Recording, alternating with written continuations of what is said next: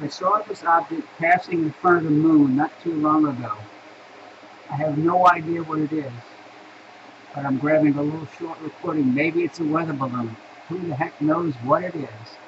I'll post this shortly.